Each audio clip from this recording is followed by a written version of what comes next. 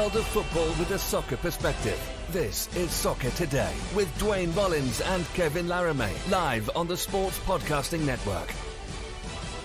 Good day, good night. Welcome to Soccer Today for Wednesday, February 10th, 2021. I'm Kev Laramee, joined by Duane Rollins as always, and joining us today to talk about one of Canadians, yes, one of the Canadian men's national team's hottest striker in the entire world right now, Cyle Larin, lighting it up in Turkey, and joining us to talk about a great article that he wrote with a great interview that he had last month with the Canadian striker. Paul Tenorio of The Athletic joins us. Paul, thank you for joining us. How are you doing today? I'm doing well. Thanks for having me on. And I'm sure you're glad to talk about something other than labor issues for for once. Uh, been, no been doubt listening, about that. I've been listening to allocation disorder for quite a bit during the, the lockdown. So thank you for your great work there. Uh, I think most MLS fans will thank you for that. But uh, let's talk about Cyle Larin, a player that you've known for a long time. Um, in the article on the Athletic, uh, which you shall go read as soon as this is done, you, you do go into some pretty uh, detailed analysis of what's making this particular uh, stretch of goals, uh, stretch of play seem more sustainable and seem like it might lead to a to a move to a higher level. Can you sort of give a quick summary of what is exciting in particular about the way Cyle's playing right now?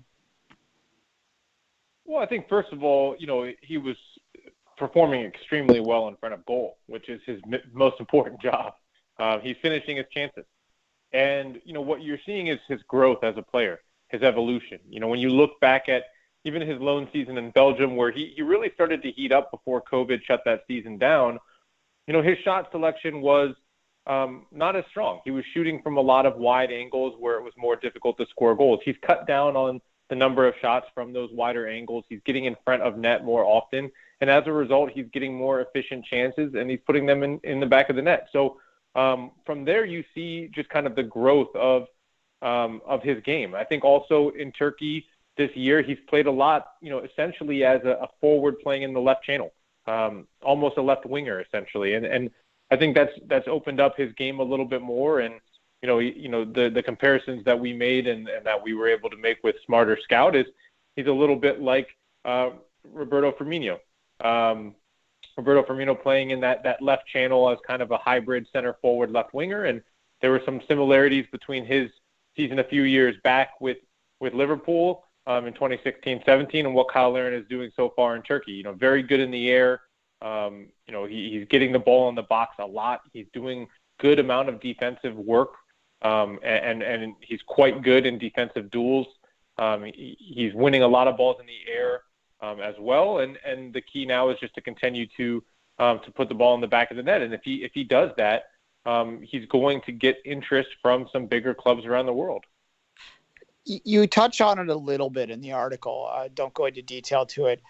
Uh, if you remember Cyle's time in MLS, and particularly the last year with the the drunk driving uh, I don't know if it was a charge or he certainly was pulled over for for having too much alcohol in his blood when he was driving. Not, not a good thing, obviously. And then the way the contract sort of ended up sort of spoke to maybe some maturity issues there. Um, I don't ever want to get into players' head, but it, it, does sound like he's in a better mental place over there. What was your impression of him from your conversation you did have with him, and and do you think that that maturity is, is driving part of this? Yeah, well, while we were talking uh, on the phone, I heard um, I heard some kids crying in the background, and you know, I have I have my own 19 uh, month old running around here, so I, I said something to Cyle about it, and he said, yeah, he he's got two twin daughters who were born in the spring. You know, just after the COVID pandemic set in, he was able to be home um, in Canada for their birth because of the pandemic, and um, you know, since then, since they were in April, it's really given him new perspective, which which children tend to do. Um, and I think it's it's provided a little bit of um, of a centering um, presence for him in his life. You know, as he put it to me, he just feels more focused on the field and off the field. And I think you take that and you also add in the factor of you know it takes time for players when they move to new countries. And Cyle, you know, he made a big change going from Orlando to Turkey, and then you know, once he started to try to get settled in Turkey, he was moved again to Belgium, and he had to adapt to another new culture, and and now he's back in Turkey. And I think talking to him, that was another area where he just feels far more comfortable. um, you know, where he is and and and with what um, environment he's in. He's got his girlfriend there. He's got his daughters there, and he's got an apartment. And I think he just feels like he's got direction now. He's got, um, you know, he he's got the the motivations and and the focus that he needs. And and certainly we've seen that resonate in his performance on the field. A few weeks ago against Rivasspor, he had a quite a game for four goals in one game for the Canadian striker. And as you mentioned in your article, he could not even recall the last time he scored four goals, if ever, in a game. What was that? That feeling that he described after scoring four goals, and how does the balance outside the field contribute to an ease on the field? Yeah, well, I think you know one thing he said is he's just enjoying enjoying the the football right now. He's enjoying the way that the team plays, his role within the team. Uh, he feels comfortable, and and that certainly helped him to a, a four goal performance in that win. And you know that was a streak of four games in a row in which he scored goals. So you know it wasn't just like it was one game, a burst of four goals, and then we didn't hear from him again. Um, obviously, he's got 12 goals this season um, in the Superliga, so he's been scoring consistently. And um, you know, he talked about that, just kind of feeling, you know, when you start to feel comfortable, it allows you to enjoy yourself again. You're not overthinking everything. You're not constantly concerned about the next goal, the next moment. And um, you know, I, I think that that's certainly helped him um, to settle in this season at, at Besiktas. And um, you know, the the hope is that he continues to score those goals, right? Because confidence builds. Confidence feeds into the next performance and the next performance. And you know, even talking about that four goal performance, you know, he said after the first one, after the second one, he really started to have that confidence. And when he looked back at his stats from that game, he had more sprints than he's ever had before in a game, more defensive work rate than he's had in a game, because it was all feeding into itself, right? When you start to really vibe in a game like that, um, your performance goes up all the way around. And, and that's been the case for him, I think, all season long this year in Turkey. Of course, in Istanbul, Besiktas is one of the biggest team, and this year they're in a title battle with Fenerbahce, who uh, a few weeks ago made headlines signing Mesut Ozil and having a good squad too. We know with Besiktas there's another Canadian player, Atiba Hutchinson, who, for what I'm hearing, is bringing a lot of of mentorship and also great knowledge and is is passing on that knowledge to Cyle Larin. What is that relationship like, if from what you understand? Yeah, I mean, Cyle did talk about having Atiba there and, and how that's helped him to to to be more comfortable in Turkey. That he immediately had somebody who could show him, um, you know, show him what life is like there in Turkey, integrate him into the club, um, help them get to know the way things work, and I think you know, just as importantly, help to make things more comfortable away from the sport. You know, when you have somebody that you can share meals with and that you have companionship with, that makes a really big difference. And um, obviously, Atiba's got a ton of uh, experience, not just on the club level, but the international level. And I think, um, you know, it's been a valuable friendship and relationship there for Cyle Larin. And, um, you know, he, he did acknowledge once again that that, that relationship has been um, a very important part of his growth in Europe. Atiba Hutchinson, of course, in my mind, maybe the most underrated CONCACAF player, at least of the last decade or so, and a player that, uh, from a national team perspective, is still in the mix. Surprisingly, something I didn't necessarily think that I'd be saying uh, just four years ago. Uh, Paul, you did actually touch on the on the international play and the start of World Cup qualifying. Uh, how excited and how important do you think that is for Cyle based on your conversation with him? Yeah, of course. I mean, he, he talked about the fact that this team has a lot of young players who have known each other for a long time, who have played together in different levels for a long time. Um, you know, just as one example, you know, Cyle and, and Richie Laryea, um, two guys who, who go back a long way, even before they played together in Orlando City. Um, you know, and so those relationships are there, and they really truly believe that this is a Canadian team with more talent and more experience than they've had in a very long time, and they see a real possibility to get Canada back to a World Cup, and and so that's the goal. And they, he talked about you know the number of games they need they have in front of them in order to get to a World Cup, and and trying to take those on one at a time. And he feels like it's been an important part of the season for him is to get fit as fit as possible because it's going to be a very challenging um, task for him to to be playing consistently in Turkey and then traveling back to North America to play in World Cup qualifiers hopefully beginning in the spring um, as long as COVID uh, allows. And um, you know, it, it, it's a it's an opportunity he sees as very important, and he understands also that there's a lot of competition um, in the attacking positions for Canada, and and he needs to keep scoring goals. And it, in, in the way he put it, if I keep scoring goals here in Turkey, you know, I believe I'll start scoring goals for Canada, and it'll be difficult to keep me out of the team. So, um, you know, that's that's the way he looks at it. Just if we could have him try and teach someone how to defend, that would be lovely for a World Cup qualifying hopes. But um, putting that aside, uh, in terms of Cyle's next move, he is, I think, at the age it's fair to say where if the move to a major Big Five league doesn't happen very soon, it probably won't. Uh, how likely do you think that there will be a move this summer, and and where in your mind do you think the best fit for Cyle would be next? Yeah, well, I know that there were some teams interested in him in the winter window, West Brom being one of them. Obviously, West Brom needed help immediately in that window to try to stay up at the Premier League, um, and it didn't happen for Cyle Larin. There are there have been interested, you know, teams interested from a lot of different leagues. There's been teams interested from France, from England, and um, you know, I think even some some interest maybe from from Germany as well. I, I think that you know, obviously England would be an incredible step for Cyle Larin um, you know, the the financial security that can come with a move to that league is unlike any other league in the world. Um, and you know, what was interesting is I talked to his former club coach Adrian Heath, who obviously has a long history in England himself. Um, he's a legend at Everton. He still has a lot of relationships with with people there in England, and you know, he said he was receiving many phone calls um, from teams in England that were looking at Cyle, that were starting to do some some due diligence on on Cyle Larin because of the way he's scoring early on in Turkey. So um, you know, I think the right team in England would be a, a really solid landing spot for him. But that's the difficult part of going to a big league is if you end up in the wrong team, you know, you look at what happened to Jozy Altidore at Sunderland and at Hull, where you're getting no service or very little service, or even if you look at Josh Josh Sargent, the American striker right now at Werder Bremen, you know, he's starting and playing every game and he's getting maybe one look at goal per game, maybe it becomes very difficult and um, for strikers to, to maintain confidence, to maintain their level uh, when they play for, for bad teams in big leagues. So, you know, I think the most important thing for Cyle Larin is going to be to find the right fit um, and not just take a transfer to take it.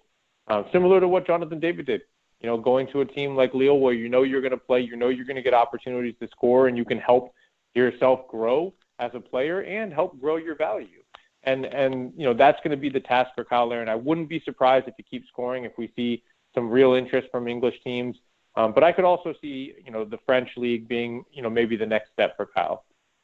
Fair enough. All right, I want to turn our attention away from from the Cyle Larin article uh, to to end the interview here.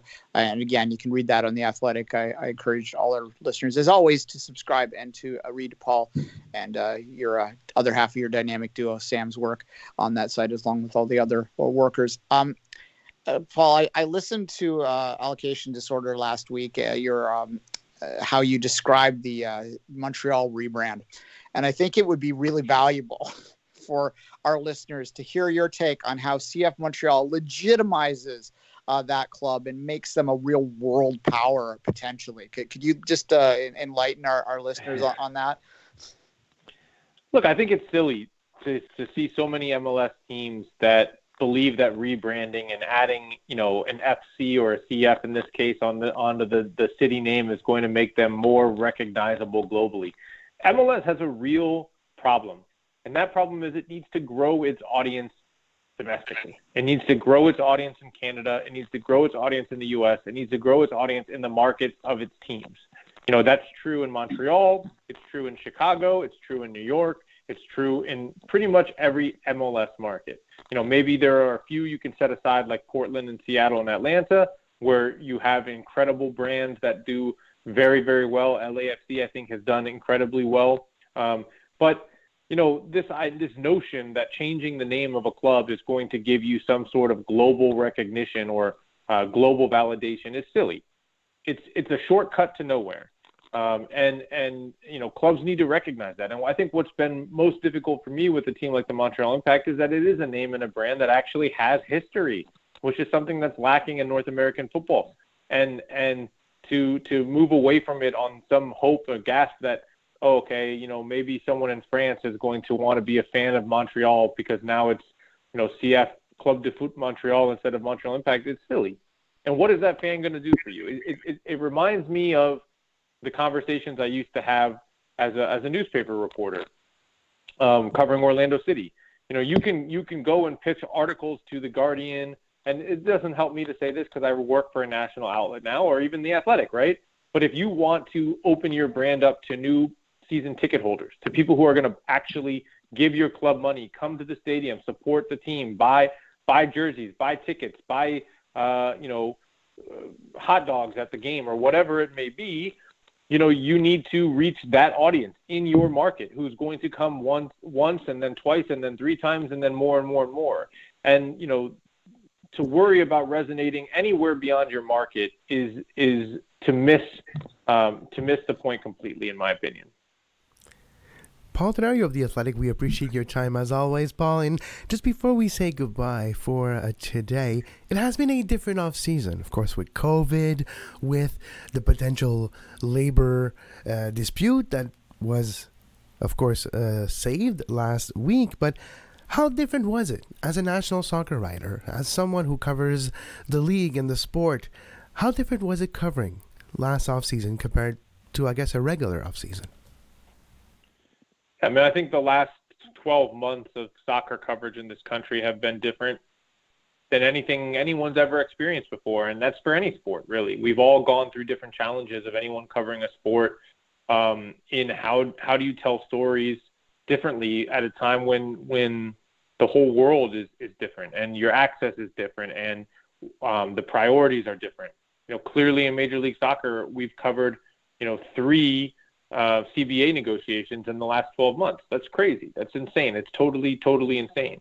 And it's it's unfortunately it's taken away from the ability to tell stories elsewhere. You know, this off season was a chance to try to tell some stories about the changing transfer transfer market for America um, and Canada, the the value that European teams are seeing in players uh, in this continent right now because of the success of players like Alphonso Davies and Jonathan David and um, you know Christian Pulisic and Weston McKennie and all all of these um, younger imports that have gone over and done well. You know, there are so many different ways that you can go tell those stories that usually typically are saved for the off season. Instead, uh, however, we've had to focus on CBA negotiations and when is the season going to start and how is the league going to go about testing and what's the reaction going to be to vaccines within the player pool. So many different angles and, and um, it's been challenging. It's been different.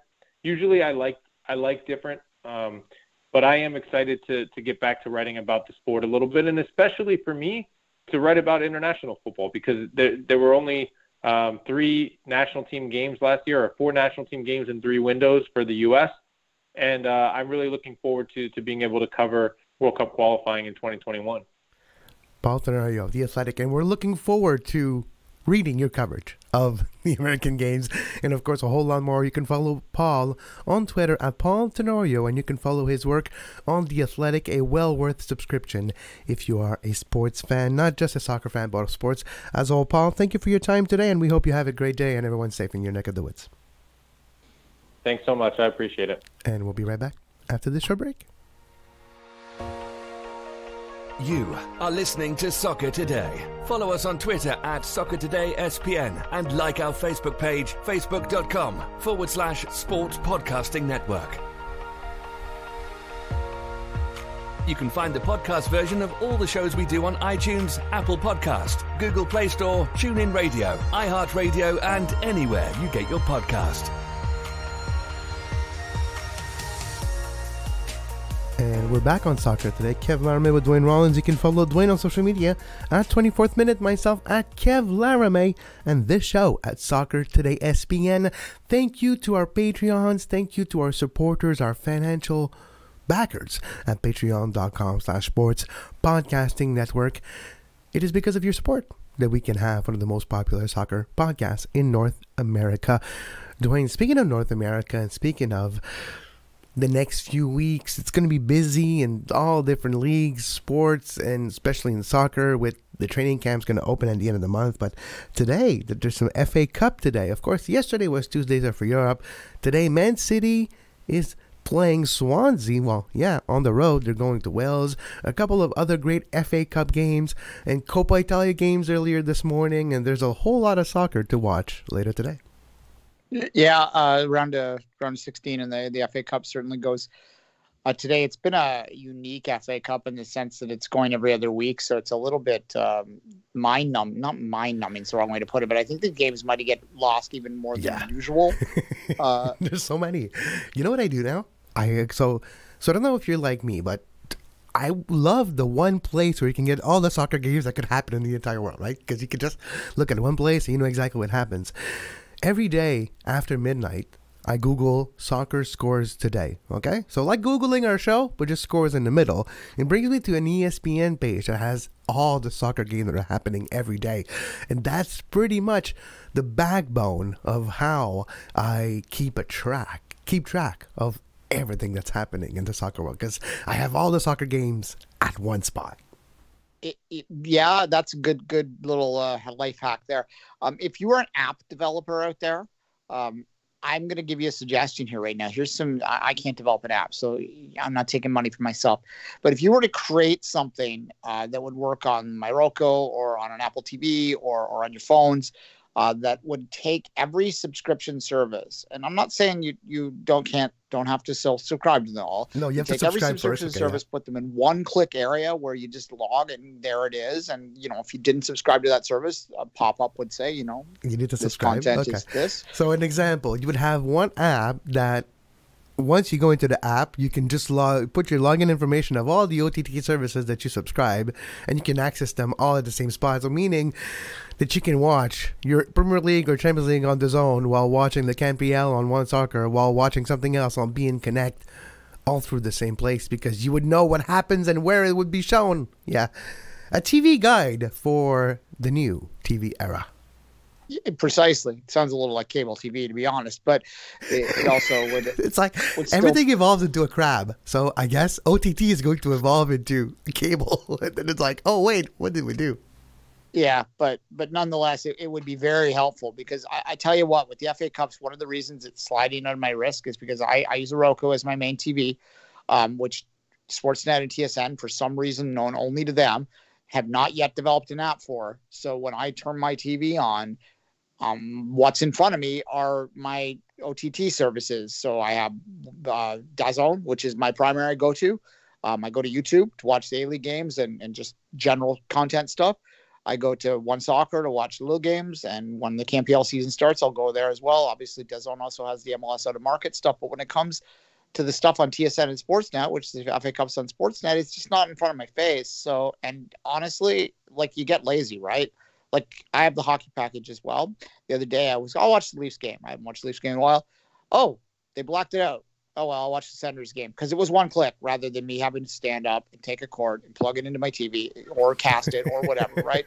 You Yeah. make it easy for me. All right, uh, there's an app for that. Maybe, maybe Duane can find it. All right, let's continue our talk today. We did talk about Larin. It's a great article. I really uh, suggest you read that article. And there's more than we talked about on that article on the Athletic.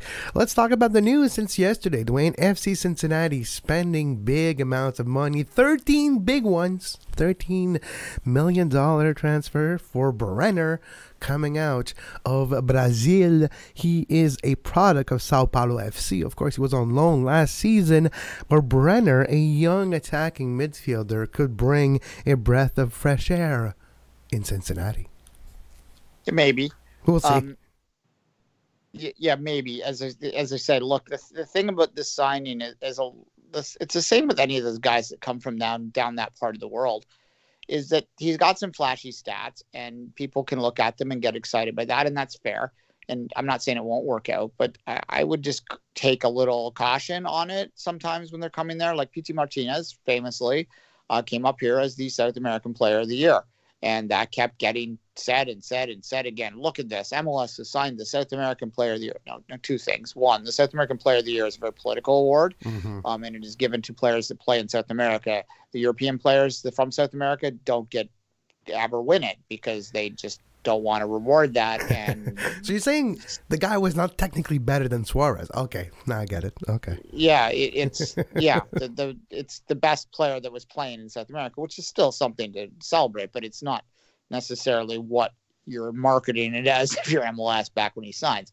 Um, also, as we see with Pity Martinez, I hate to to gang up on him. Um, but he didn't adjust. He he never succeeded. He floated in and out of games. He would have moments of brilliance, and you'd go, "Wow, there it is!" But then he disappeared for three four games at a time. Like the promise that all the Atlanta United fans and the MLS experts were saying when he came never materialized because it's not a simple plug and play with any player from anywhere. But uh, particular players that don't necessarily speak the language, don't necessarily aren't used to stuff like the travel and the heat and all of that stuff that or MLS the cold, has. or the cold compared to the heat. If you're playing in Yeah. Cincinnati in the fall or are, the yeah. spring, yeah, exactly.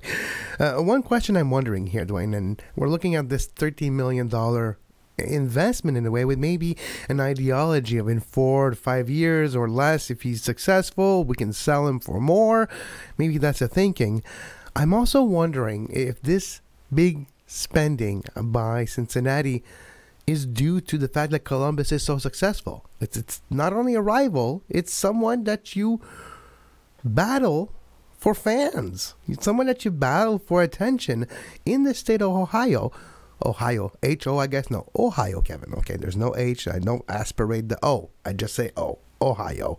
So for me, that's a direct correlation with Columbus' success, Columbus's signings in the offseason, like Bradley Wright Phillips and others.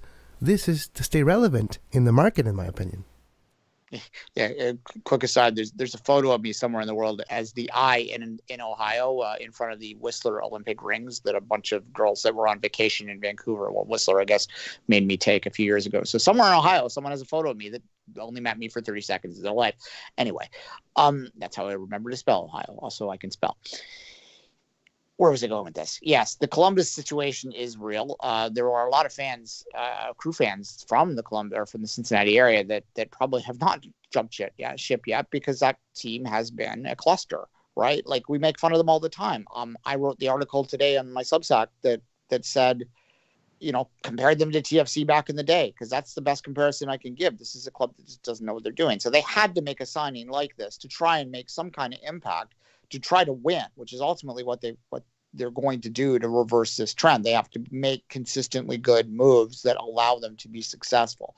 I am not here saying that this is a bad signing. I'm just here saying that this is a risky signing. And the reality is that FC Cincinnati, because of the way that they played so far, because of the fact they're in Cincinnati, and you know that's all with due respect, it's flyover country, and unless you're in LA, New York, or or Miami, you're pretty much in the same boat in Major League Soccer.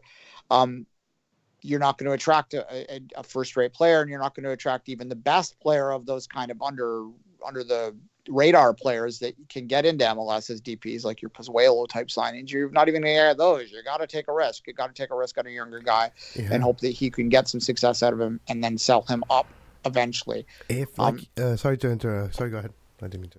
Well, I, yeah, I was just going to say, like, with this player in particular, like a couple things. Yeah, he scored a lot of goals for San Paulo last year, uh, 21 goals in 33 appearances, but he scored 11 of those goals in a in a two month stretch, and the rest of the season was a little more dry.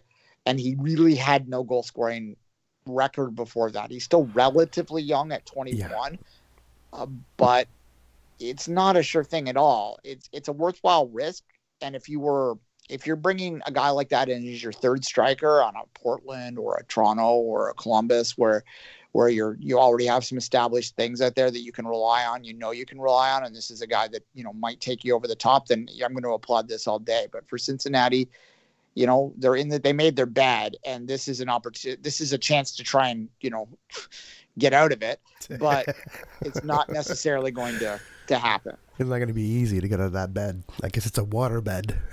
it's never easy to get out of. You swim and like ah. But you know, when I look at this, when I look at also the the risk involved, like you mentioned with this player, it hasn't been just rosy. It's a big risk. It's a big amount of money. We've seen this work out. We've also seen it not work out. The one caveat is what we've talked about earlier, Duane, with Paul, when we talked about Cyle Larin and the influence of an Atiba Hutchinson in Besiktas. You turn this thing around, it's a similar situation for a Brazilian to come to Cincinnati at 21 years old with a different environment, different language, different situation altogether. This is the first time in his career he plays outside of Brazil. We'll see how that becomes an influence. And it's not like Cincinnati has like a big Brazilian diaspora, or it's not like Cincinnati as a team has like 20,000 Brazilian players to make it easy for him to to to acclimate. So I think those are all to take into consideration before you handicap Cincinnati's performance with him this season. Yeah, the, it's a show us don't tell us kind of signing, and but it can work out. Like I mean, look, I applaud their ambition to to spend the money, and that's where I'll start. Uh, you have to you know you have to start somewhere and you have to take some risks when you've dug this much of a hole. And you can drag, drag yourself out of it pretty quick in major league soccer though. They have a lot of work to do because they have some big holes in that roster that have to do with their incompetence. As i wrote in the article today like they've done some dumb things in the past. I mean they traded for all those draft picks that are really wasted. They spent all that allocation on on you know a defender that was a backup in the league right? Like uh, Nick Hagglund I'm talking about. Uh, there's a trade that I really love that, amuses me to no end that the LAFC two years ago traded them for some allocation money for their top allocation spot in the allocation reentry order for this year. So as LAFC looked at Cincinnati, like said yeah. to them, Go ahead, sorry. "We have no confidence that you're going to turn this around. We're going to take something two years down the line." And they won that bet. So like, basically, that tells you all uh, you need to know about Cincinnati. Like a stonks. They, they, they shorted Cincinnati. They're like, Precisely. they're like, yeah, we're gonna take the short stock on Cincinnati. Thank you, and uh, yeah, we're cashing in in 2021. it's yeah, like I mean that's that's damning. it, it really is, especially LAFC. Like they're a new team too, and they're like, you know what, you guys don't know what you're doing. They're like, we've been there. We know exactly what it's supposed to be. We've looked at our books. We're looking at yours, and we're like, yeah, we see value in there. That's an easy. That's an easy trade here. Let's get something that'll be worth it in two years. so yeah, it's a it's a big hole, and but you got to start by building one step first, right? And maybe this is the step. And if it's not, like I'm not gonna. th- This isn't something that in five years' time I'm gonna make fun of them for, right? Like you know, I look at TFC as the analogy again. There were tons of signings they made back then that. Here, I'll give you the perfect one. Mista. Everyone will, will say this. Oh, look, they're so stupid. They signed Mista. Oh, what a terrible, terrible move. They signed Mista. No, it wasn't. It was a risk that they were taking to dig themselves out of a hole that didn't work out. That's a different thing. And this is a different thing as well. It's a risk they're taking. That's an educated risk. It's a risk with high with high potential reward. If it works out, then great. They move forward. If it doesn't work out, then yeah, you, you you have to figure something out again down the line. But at this point in time, the biggest mistake they can make is to not do anything, to not be aggressive, and they are being ag- aggressive. So I well applaud them for that. Yeah, and time is getting away from us. There's a few more things we wanted to talk about, but I guess we'll we'll take a rain check until tomorrow. The Olympic Stadium ain't going anywhere, so we can talk about. It should Sure. still be standing until tomorrow, so we'll talk about that. Well, you you never know, but Yes, you Yeah. never know, but I don't think the hope aliens are coming. I Exactly. hope Montreal for your sake. yeah, exactly. A little shout out to all TSN radio people who lost their job in Canada since yesterday. When you're sport sports radio, difficult business. It is. And uh, Podcasting's the future, Kevin. Podcasting's Well, the, the future. future's I've been been saying here that for- for ten years. Exactly. The future's been here for 10 years. So, so that's that's one thing. Uh, CCL draw tonight, Duane. We'll keep an eye on that. So you'll have uh, one card that says uh, Toronto FC or Forge on it. We'll see that tonight. Yeah, I, I am. It's it's broadcast. If you really are interested in watching that, uh, I I think it's on OneSoccer. I don't know. It's somewhere on their website. Regardless, Mhm. uh, you see, you can watch it and uh, find out where likely TFC is going to play. Uh, get uh, enjoy the CCL for the next two years because it's going to be very different after that. Yeah, and I think it's on good, in my opinion. Not good yet. I think it's on TSN. CONCACAF strikes are, uh, are on- on TSN when it comes to FIFA. So I think it's on TSN.ca. But uh, that's all on their reserve.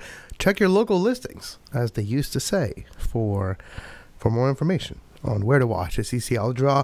So tomorrow we'll talk about that draw on the show tomorrow, Duane. We'll also talk about the Canadian situation of Major League Soccer teams. We'll have more information on what potentially will be the case for Canadian teams. Exile, no exile, well, they will be playing. And also the city of Montreal apparently approached not only the Club de Foot Montréal, but also the Montreal Alouettes of the CFL about the potential of playing at the Olympic stadiums. We'll have more details on that on tomorrow's edition of Soccer Today. But as always, you can follow Duane on social media at 24th Minute, myself at Kev Laramee, and this show at Soccer Today SPN. Thank you to Paul Tenorio of The Athletic for joining us today. One of the most prominent soccer journalists in this con- well in this continent, of course, in the United States. A great follow. Follow him at Paul Tenorio, and great work as always for the Athletic. But as always, until tomorrow, have a great soccer. You can find the podcast version of all the shows we do on iTunes, Apple Podcast, Google Play Store, TuneIn Radio, iHeartRadio, and anywhere you get your podcast.